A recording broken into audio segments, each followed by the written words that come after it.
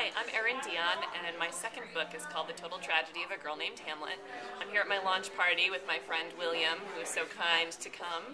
Um, Total Tragedy is about sisters, it's about families and how much they embarrass us when we're kids. Um, it's for readers who are, you know, in that junior high tween age group, um, so I think that they especially can deal with being embarrassed by their families um, especially when their families are kind of obsessed with Shakespeare.